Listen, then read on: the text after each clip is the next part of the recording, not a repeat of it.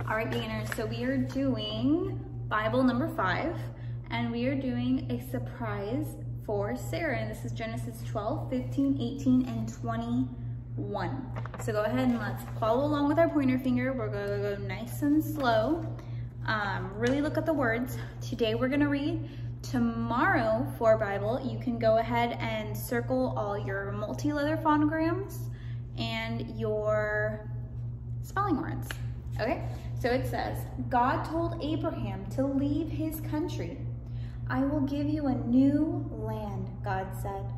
Abraham obeyed. He took his wife, his servants, and his flock. All right, so he listened to God and he's doing what God told him to do. So next side. Um, can you count the stars? God asked Abraham. There were too many to count. So shall your family be, said God. So what's that mean? God took Abraham and he's like, look at all the stars in the sky. Can you count them all? And Abraham's like, one, two. And then he probably got confused when he got to a thousand. And he's just like, there's too many, God. How can I count all these stars? And God told him, just like there's so many stars, that's how much um, that's how your family will be. You will have children and grandchildren and great great grandchildren and great great great great grandchildren. That's what God had told Abraham. So let's see. Don't worry, said God. I will give you a son. Next page, let's turn it. One day, God sent three visitors. Please rest under my tree, said Abraham. There is Sarah, your wife, asked the visitor. In the tent, said Abraham. Oh, sorry. Scratch that.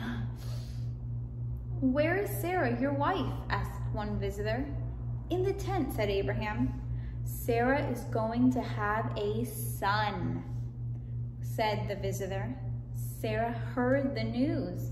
She laughed to herself. Abraham and I are too old to have a baby, she said.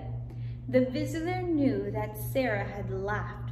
Ooh, so is this like a normal human being, do you think? I don't know. So look at Abraham and the three visitors were sitting down under a tree.